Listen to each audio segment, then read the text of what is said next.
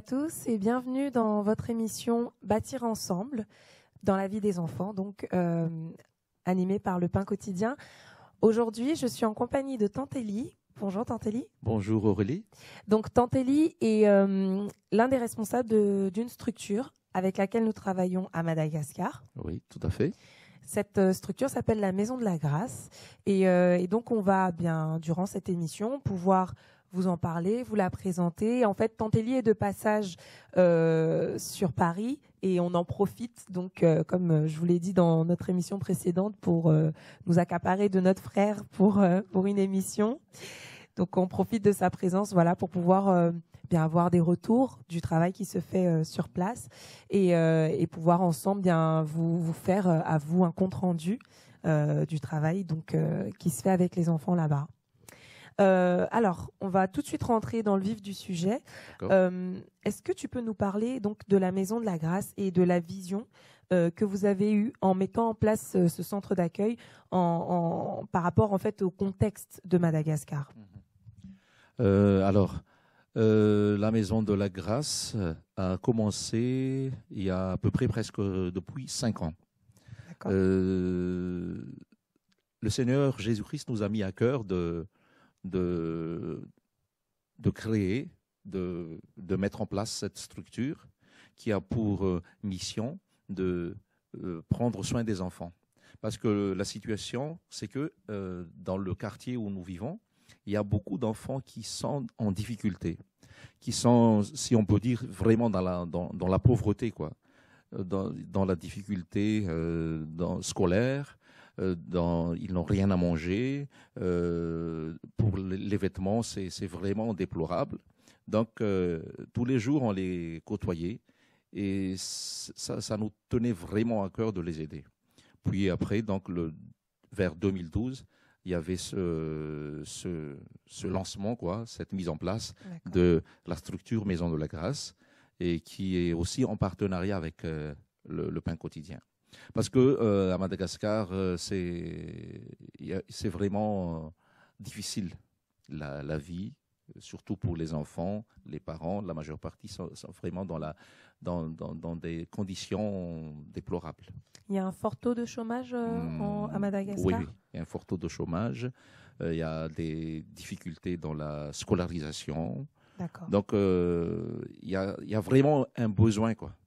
Et nous avons commencé la, Maison de la Grâce, donc dans cette euh, localité, dans le quartier où nous vivons.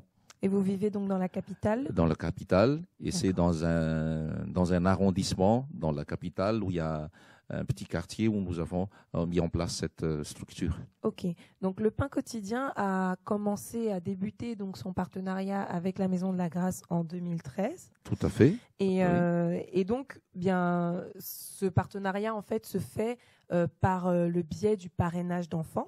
Parrainage d'enfants, oui. Et actuellement, combien d'enfants sont soutenus dans la structure? Actuellement, nous avons 30, 36 enfants. Et tous ces enfants sont parrainés. Entendu. Et euh, il y a une veuve, une femme âgée que nous prenons en charge aussi, qui va, qui va avec les enfants. Entendu. Oui. Donc tous ces enfants, ils sont parrainés. Et merci Seigneur. Amen.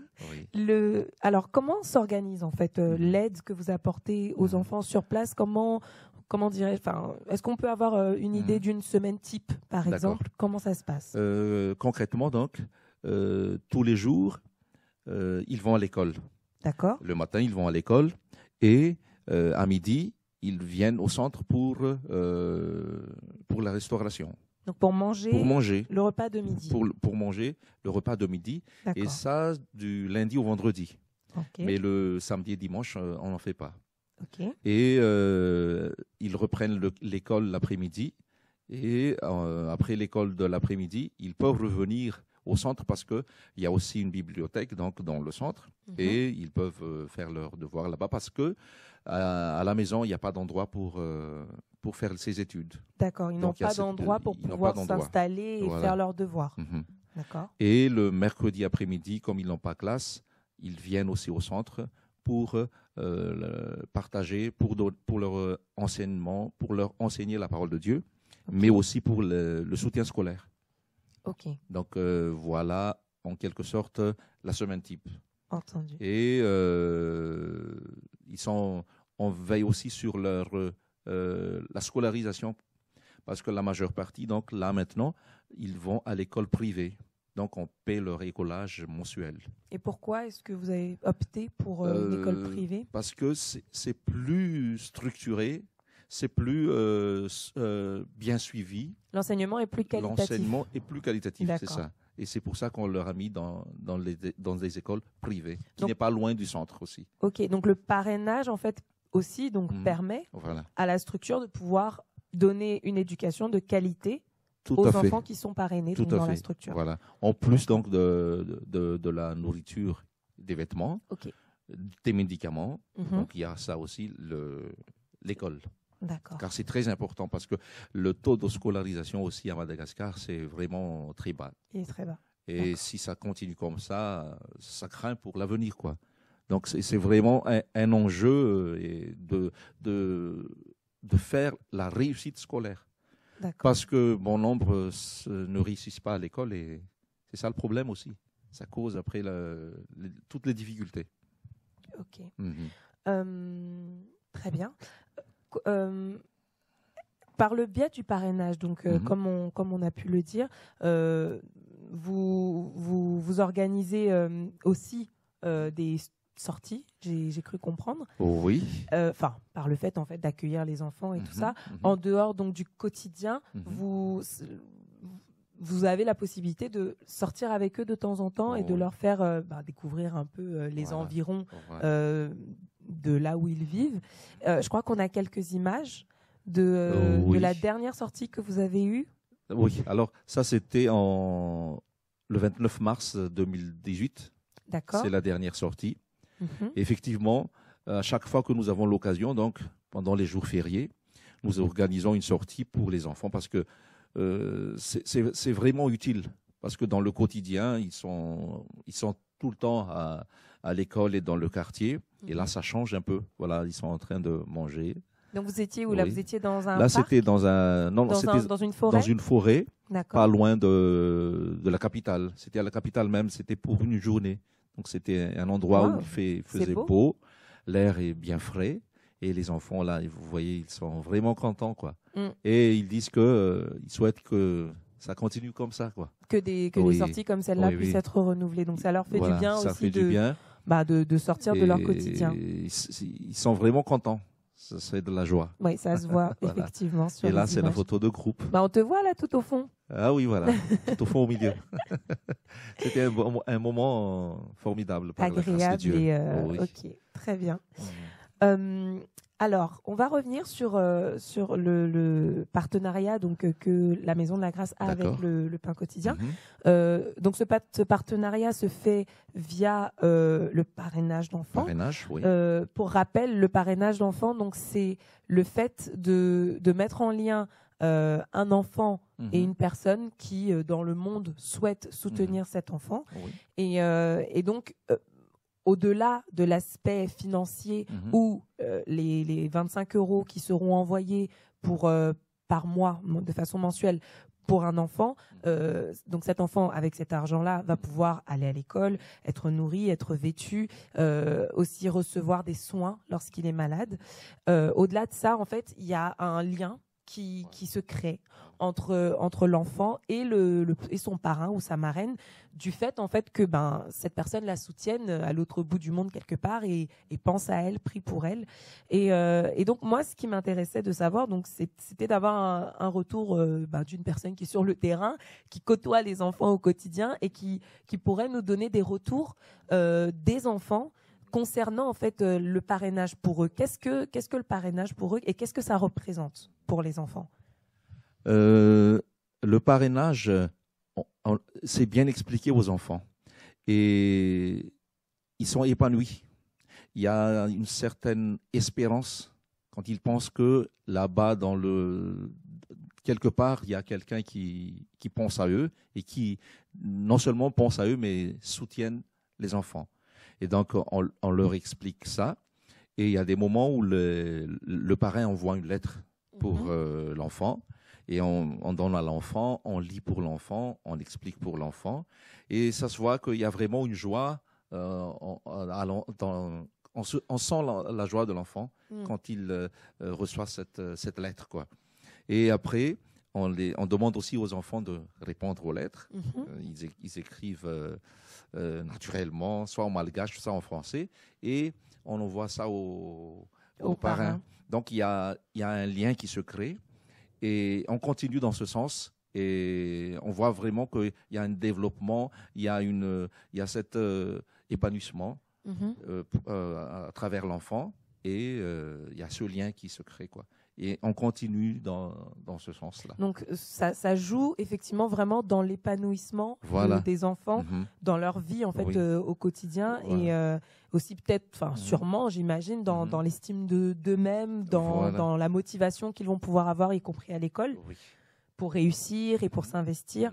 Parce que j'imagine que ce, ce sont bah, des conseils ou des, des, des, souhaits que les mm. parrains euh, donnent à leur à leurs filleuls euh, dans leurs lettres que de que de les voir réussir et, euh, et de les voir avancer. Mm. Il y a une certaine fierté quoi. Et, et, les enfants sont motivés. Mm. Et c'est vraiment une grâce. Et je tiens à remercier le, le pain quotidien pour ce soutien et à tous les parrains qui ont à cœur de soutenir les enfants. C'est vraiment euh, précieux pour les enfants. Et je vous remercie à tous qui nous suivent là maintenant. Amen. Euh, donc, je, profite hein, de, du de ce moment où on parle du parrainage pour rappeler que le 30 juin, donc euh, le pain quotidien va va faire une émission en direct où on va vous parler ben, plus en détail de ce que le pain quotidien fait euh, et, du, du, moins a fait euh, durant l'année qui s'est écoulée. Et euh, ce sera surtout un moment pour parler du parrainage encore plus en profondeur et sur place durant cette émission. Donc on aura des parrains, des donateurs qui, qui soutiennent le, pain quotidien, qui seront présents et, et, on, aura, on, aura, comme je vous l'ai dit dans, dans l'émission précédente, bien des surprises ce jour-là. à partager avec vous et, et, donc voilà donc vraiment soyez connectés le 30 juin on va on, on va pouvoir davantage vous donner d'informations sur le parrainage pour tous ceux qui sont intéressés. Et, euh, et donc voilà. Alors, on continue par rapport à Madagascar. Euh, l'autonomie au pain quotidien, c'est important. Mhm. Dans le sens où euh, c'est, ça fait partie de, notre façon de travailler depuis maintenant quelques années, où avec l'ensemble des structures avec lesquelles nous, nous avons des partenariats, nous voulons en fait mener nos structures vers une autonomie financière. Euh, non pas qu'elle arriverait forcément tout de suite, mais l'idée c'est de mettre en place des projets qui permettent en fait à la structure d'avoir des revenus et de lui permettre bien au fur et à mesure de pouvoir euh, se développer et au cas où un jour le partenariat viendrait à s'arrêter, que la structure puisse continuer ben, à, vivre et à, fonctionner et à, continuer à accueillir des enfants dans les meilleures conditions. Euh, donc l'idée c'est ça. Et à Madagascar. Donc l'idée vous a été soumise. Et est-ce que tu peux nous dire quels sont les projets qui ont été mis en place? Euh, Donc euh, sur ce point autonomie, donc comme là nous, voyons aussi l'image, nous avons euh, reçu un congélateur et un grand frigo. Et c'est vraiment utile parce que nous avons fait des, jus, jus naturels avec des sorbets, des glaces. Je crois qu'on peut même voir voilà, la préparation des la préparation. Et des sorbets. Uh-huh. C'est euh, donc c'est fait maison. C'est fait maison. C'est artisanal. Voilà. D'accord. Et euh, nous impliquons les parents des enfants à, à, contribuer à la vente de ces produits. Ok. Parce que, euh, comme dit Paul, celui qui, ceux qui ne travaillent pas, qu'ils ne mangent pas non plus. Mm. Donc, on implique, on fait une sorte de sensibilisation, de prise de conscience aux, parents des enfants que il faut travailler. Ne pas se contenter de recevoir, de recevoir. Mm. Il faut travailler aussi pour gagner. Donc, on leur donne l'opportunité avec euh, euh, des glacières et on prépare la veille tous les produits et le matin, ils viennent pour, euh, pour vendre. D'accord. Et ça avance. Mais là, maintenant, ça commence à faire froid à Madagascar. C'est un peu l'hiver. Et ça. Donc la vente, diminue du fait du climat. Ça, diminue un peu. Mais ça va reprendre après. Ok. Donc il y a la vente de glace. La vente de glace. Et euh, on, voit donc euh, des, on a des images aussi de, poules. De, poules. De poulaillers. De poulaillers, oui. Ce sont des poulaillers euh, fermés, fer, fermiers. euh, élevé en plein air, biologique. Ah, Et Il n'y a pas qu'en France qu'on fait du Ah oui, bio. oui. Donc, euh, c'est un petit éle- élevage là où nous sommes. Ça a commencé par 11, euh, 11 Mhm. têtes. Et là, maintenant, nous en avons presque dans les cinquantaines. Waouh. Et ça, ça multiplie beaucoup. D'accord. Et l'endroit, là, est presque euh, à l'étroit. et, et donc, il y y a un projet, il y a une vision qu'on va parler tout à l'heure. Oui, ben, très bien, on peut Oui. en parler maintenant. Mhm. Donc le, le, le projet, enfin à plus long terme, j'imagine donc que vous avez des projets. Mhm. Euh, L'idée par rapport à ce poulailler en l'occurrence, c'est de Oui. pouvoir, j'imagine, vendre Voilà. les volailles Mhm. euh, et aussi leurs œufs sûrement. Voilà. Mais l'idée c'est de permettre, enfin faut, faut attendre en fait qu'elles soient un certain Mhm. nombre pour pouvoir le faire. Euh, pour le moment, donc, il n'y a pas encore de la vente. D'accord. Mais euh, il y a- euh, on élève, on élève, les poules pondent des œufs. Vous êtes dans la ça, phase d'investissement. La phase d'investissement. Et puis après, euh, viendra le moment où on va faire la vente.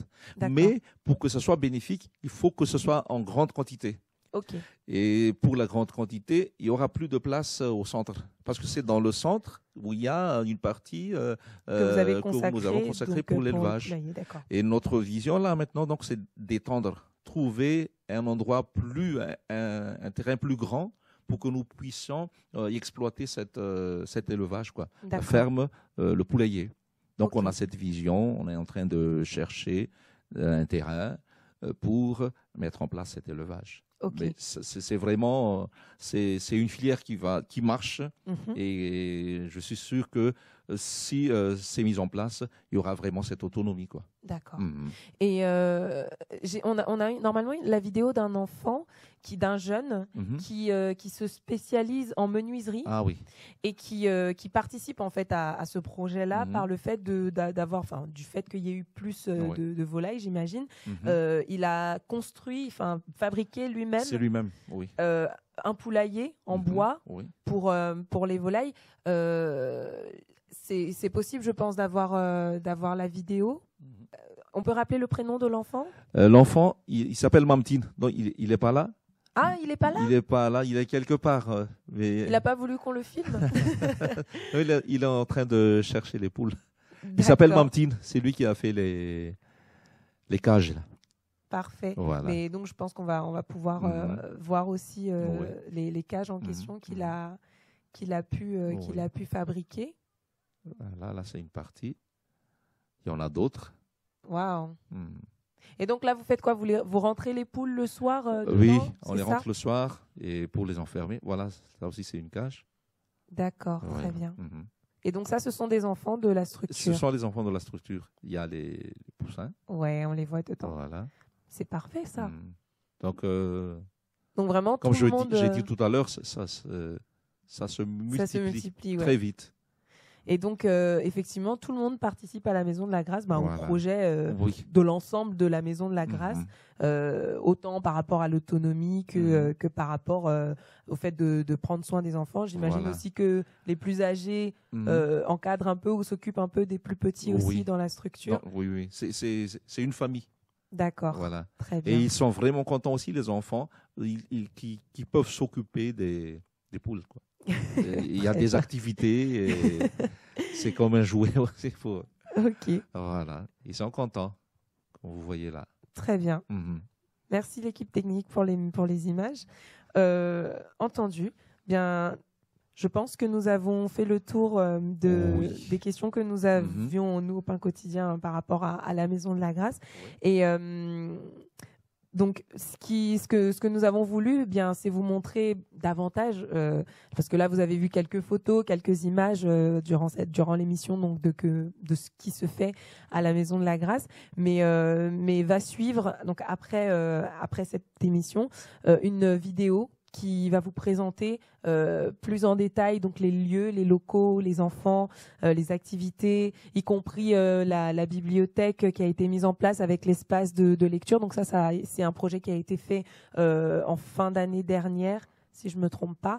Euh, donc voilà, et, et donc on peut on peut voir au travers de ces images là, donc qui vont suivre euh, le travail concrètement qui se fait donc au quotidien avec les enfants à la Maison de la Grâce. Merci beaucoup, Euh, Je t'en prie. de nous avoir accordé C'est ces moi minutes. qui te remercie aussi de m'avoir accordé cette, ce moment. Bah, avec et grand plaisir. voilà, toute la gloire revient à Jésus. Amen. Et c'est pour Jésus tout ça. Mm. Parce que euh, quand Jésus a dit j'ai eu faim, vous m'avez donné à manger, j'ai pas eu de quoi se vêtir, vous m'avez donné de quoi vêtir. Donc tout ce que nous faisons, c'est pour Jésus et c'est pour sa gloire. Il revient bientôt et il faut que nous travaillions pour Jésus. Amen. La foi, il faut mettre la foi en action. Mhm. Il faut pas seulement dire euh, allez vous faire, allez vous vêtir, euh, manger, alors qu'il n'y a pas à manger, il n'y a Mm. pas de quoi se vêtir, mais il faut travailler. Donc euh, c'est ça aussi que je, je voudrais partager. Travailler, mettez en action la foi. Amen. Voilà. Et donc, bien, sur le terrain, on a donc des partenaires tels que la Maison de la Grâce à Madagascar, euh, des personnes comme Tantelli. Et d'ailleurs, on n'a on pas mentionné ton épouse, mais c'est avec ton épouse que que, Oui. euh, que Tantelli fait ce travail-là. Mhm. Euh, et nous ici, qui ne sommes pas forcément directement en contact avec ces enfants, Mhm. bien le parrainage est une option et une réponse que nous pouvons apporter donc pour soutenir ces enfants Mhm. dans leur pays d'origine et leur permettre bien de grandir dans les meilleures conditions. Donc, donc voilà. Donc, si vous avez des questions, encore une fois, par rapport au parrainage, si vous, euh, si vous avez, êtes intéressé par rapport à ce que le pain quotidien fait, bien sûr, vous pouvez vous rendre sur notre site internet www.painquotidien.org et vous pouvez aussi nous contacter par mail au mail suivant pain.quotidien.association@gmail.com et on fera tout donc pour vous répondre dans les meilleurs délais et pour euh, pour vous permettre bien de pouvoir euh, de pouvoir aider des enfants si, si cela est votre désir. Donc voilà, merci beaucoup de nous avoir suivis dans votre émission Bâtir ensemble la vie des enfants et euh, et à bientôt donc sur sur TV de vie. Merci À bientôt. beaucoup. Merci Aurélie. Au revoir. Au revoir.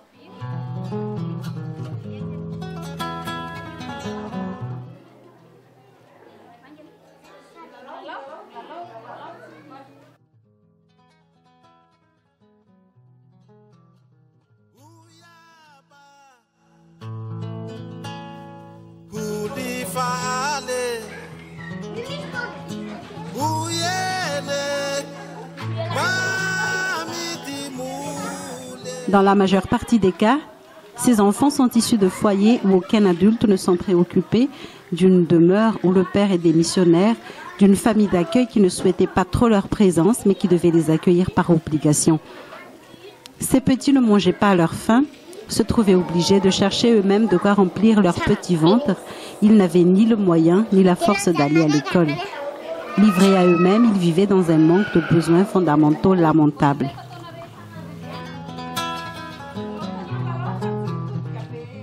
Grâce à la providence divine, ces temps d'incertitude sont bel et bien terminés. Depuis que ces enfants sont arrivés à la maison de la grâce, ils mangent correctement, ils sont scolarisés et de temps en temps, ils ont l'occasion de faire diverses sorties organisées par le centre.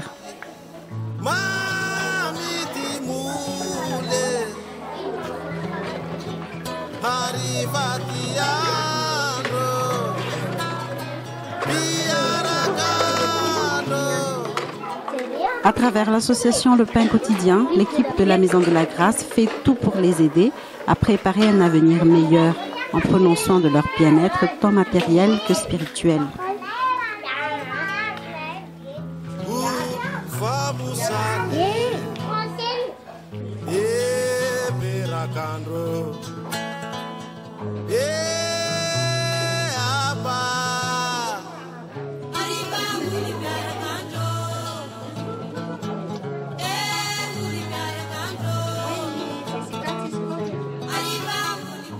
Depuis quelques années, ils viennent régulièrement déjeuner à la cantine du centre et ils prennent également leur goûter après l'école.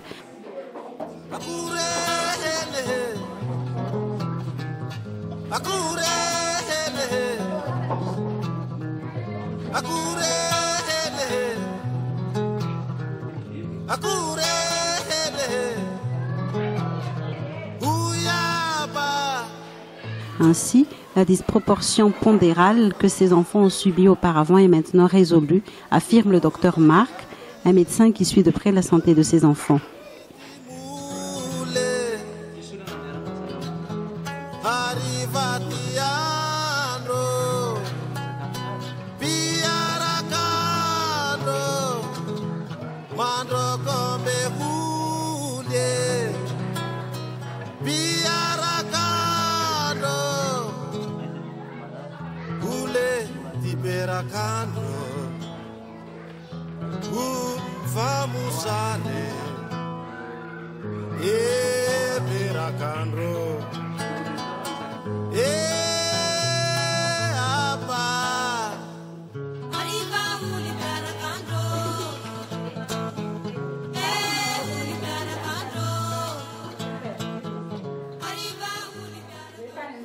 Centre, on prend également en charge la santé des enfants. Quelle joie de les voir assez costauds maintenant, à part des maux de tête, des petites grippes ou des petites infections. Rien de grave, sauf pour celle qui avait la cysticércose il n'y a pas longtemps. Après plusieurs analyses suivies par des traitements, il est maintenant en pleine forme.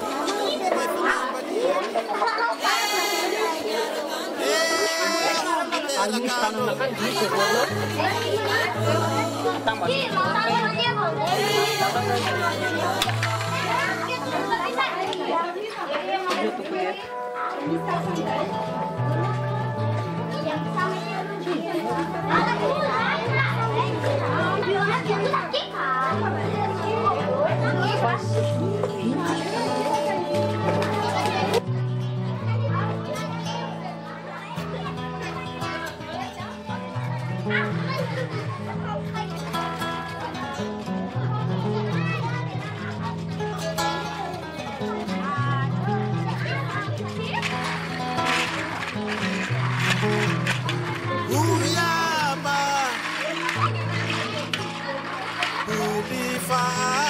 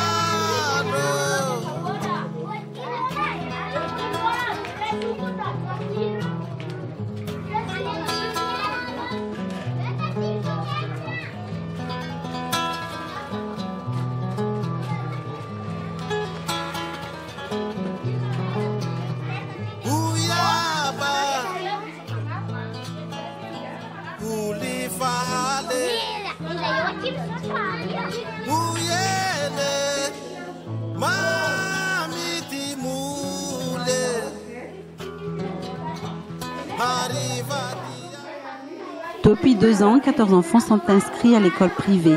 Si auparavant, leurs résultats scolaires étaient désespérants, avec l'aide de l'enseignant du centre qui les prend en main tous les mercredis et samedis, leurs résultats scolaires ont bien évolué pour la plupart des enfants. Néanmoins, quelques enfants ont encore de mauvaises notes et ont besoin de plus de soutien.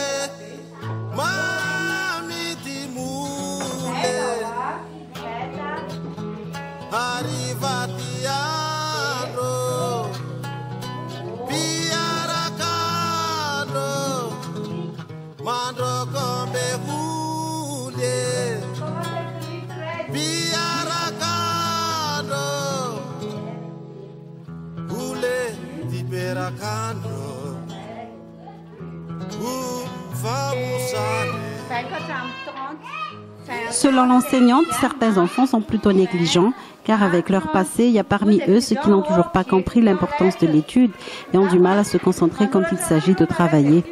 Par ailleurs, chez eux, personne ne prend la peine de les encourager à être sérieux dans leurs études, mais au contraire, on les encombre par des tâches ménagères et les oblige à faire du babysitting avec leurs plusieurs frères et sœurs. Des choses qui accaparent le temps des enfants et qui les fatiguent au point qu'ils n'ont plus envie de travailler.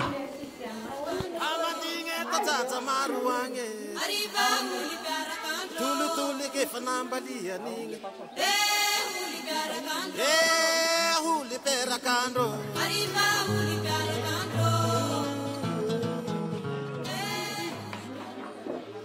Pour remédier à cela, la bibliothèque, un don qu'on a récemment reçu du pain quotidien et d'autres individus de bonne volonté, vient à point nommé. Les enfants n'ont jamais eu auparavant l'occasion de fréquenter des bibliothèques, alors que la lecture constitue le seul vrai moyen de se cultiver. La bibliothèque du centre est toujours ouverte et une monitrice est présente pour les assister. Ils viennent pour faire leurs devoirs ou pour faire la lecture ou encore faire du coloriage pour les plus petits ou simplement venir pour regarder des belles images sur de beaux livres. Un petit moment d'évasion avant de rentrer chez eux où tout n'est pas encore comme ils le souhaitent.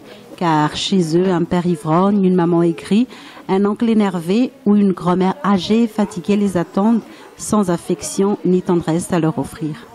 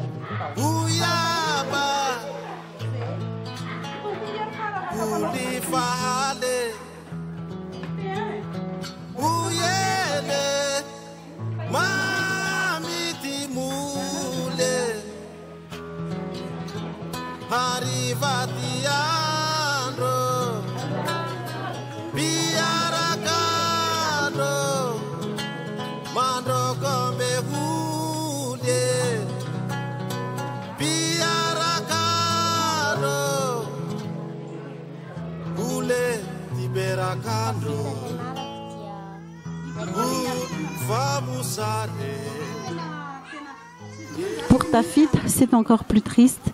Suite à une maladie, sa mère est devenue handicapée. Alitée depuis deux ans maintenant, son père les a quittés pour vivre ailleurs. Une situation qui affecte au plus haut point ce jeune garçon qui n'a pas pu retenir ses larmes quand on lui a parlé. Plus tard, il aimerait devenir médecin, sûrement pour pouvoir guérir sa mère, mais pour l'instant, il souhaite avoir une maison décente et pourquoi pas un peu plus tard une moto qu'il pourra conduire lui-même quand il ira au collège.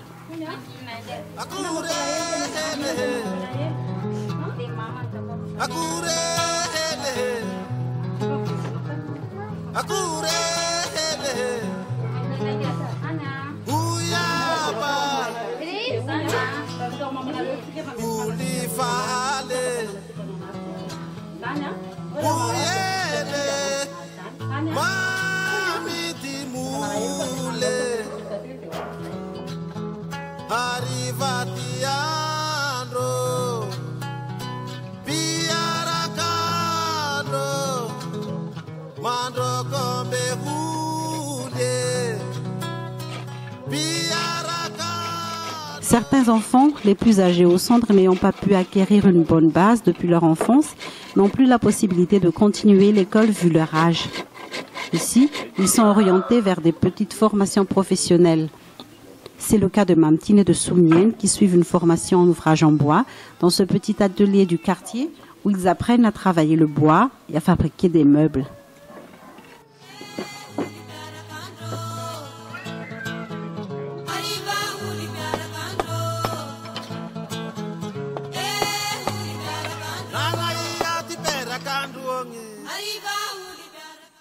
C'est une formation que j'apprécie beaucoup, nous précise Sounienne, car je n'ai pas pu réussir à l'école. Cette formation me permettra d'exceller dans d'autres domaines. Plus tard, je pourrai moi-même fabriquer des meubles et les vendre pour gagner ma vie.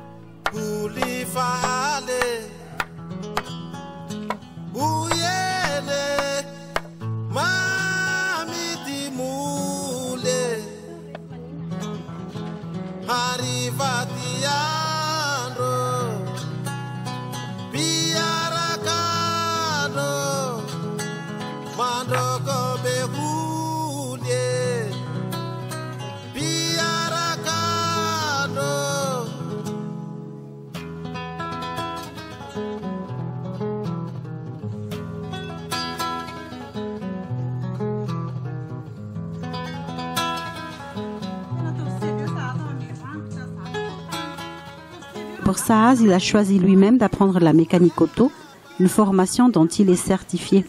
Et depuis quelques semaines, il était en stage dans un garage, mais d'après ses dires, le chef est grossier assez violent qu'il lui arrivait de battre ses apprentis. Saaz en faisait partie et le pauvre refuse d'y retourner. Pour le moment, il lui faudra trouver d'autres stages en attendant qu'il ait l'âge de passer son permis de conduire. Saaz a rêve de devenir plus tard chauffeur mécanicien, un rêve qui ne tardera plus à se réaliser s'il continue à être sérieux.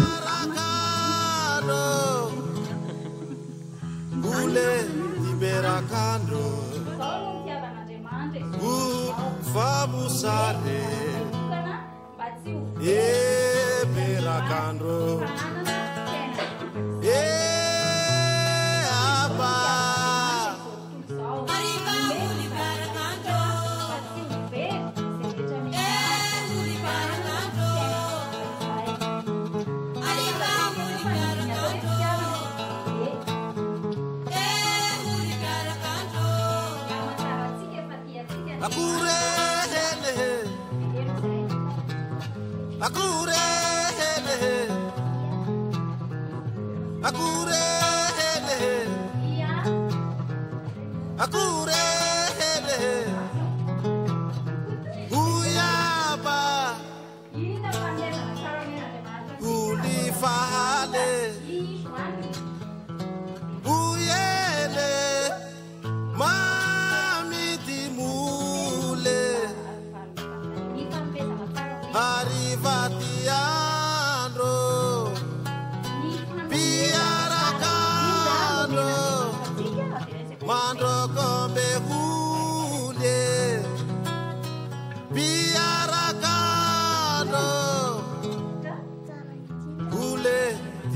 I can't run.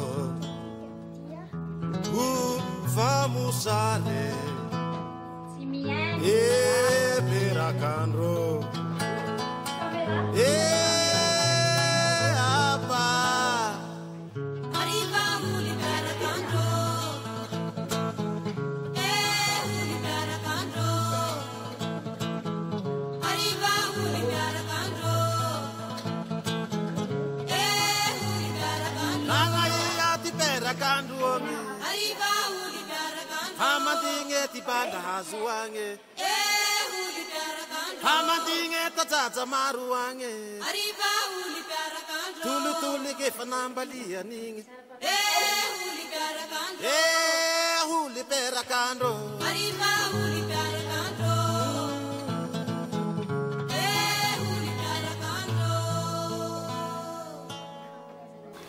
La plupart des enfants entrent dans la puberté. Leur éducation s'avère difficile, d'autant plus que les parents ne s'en soucient pas trop.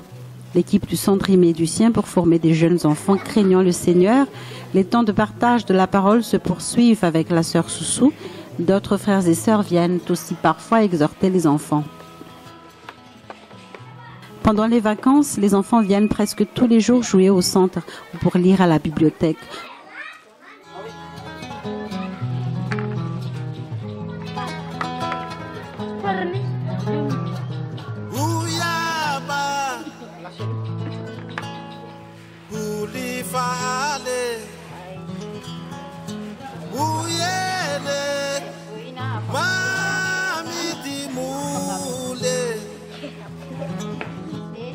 De temps en temps, la sœur Soussou leur apprend à cuisiner des petits plats. Cette fois, les filles ont appris à faire des petits beignets de bananes.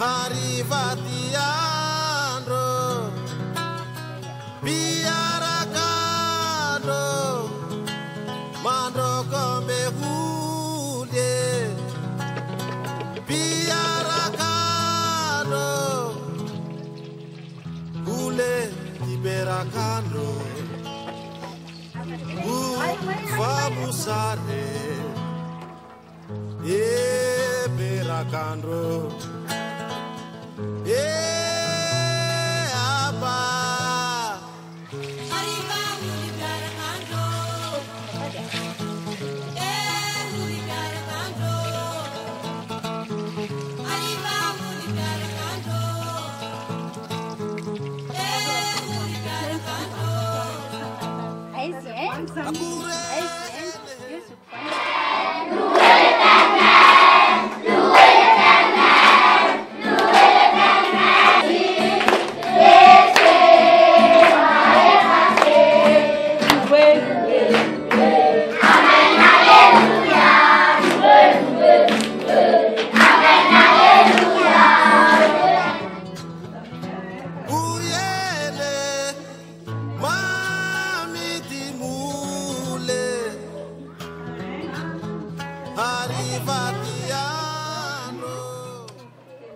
Depuis sa création, la Maison de la Grâce s'est toujours fixé un objectif, celui de contribuer à ce que ces enfants puissent avoir un avenir meilleur et prometteur que d'autres enfants de leur génération.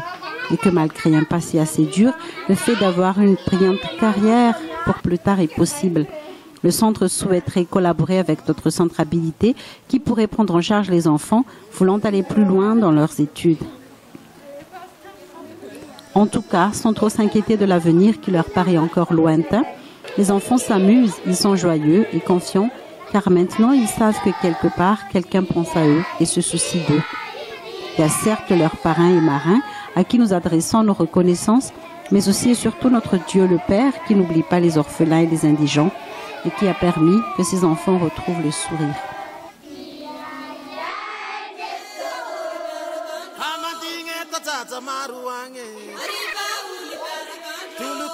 fanambalianingy eh ulipera kando eh ulipera kando mariva ulipera